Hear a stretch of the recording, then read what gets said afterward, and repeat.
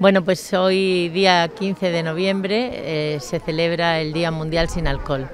Entonces hemos aprovechado para realizar esta actividad dentro, además de un programa de Noviembre Saludable y dentro de todo nuestro programa eh, en contra de las adicciones y en defensa de la juventud sana y sin adicciones, como digo. Entonces, en colaboración con el ICI, es con quien celebramos estas jornadas del noviembre saludable.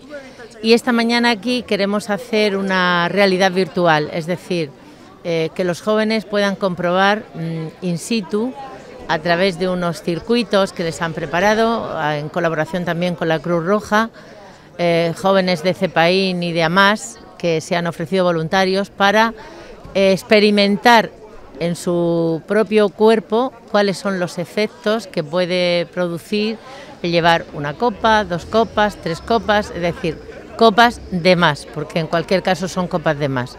Entonces, como digo, eh, aprovechando que hoy es el día de sin alcohol, queremos invitar a todos los jóvenes que quieran, bueno, jóvenes o no tan jóvenes también, a acercarse a este stand y a participar de las actividades que se están realizando.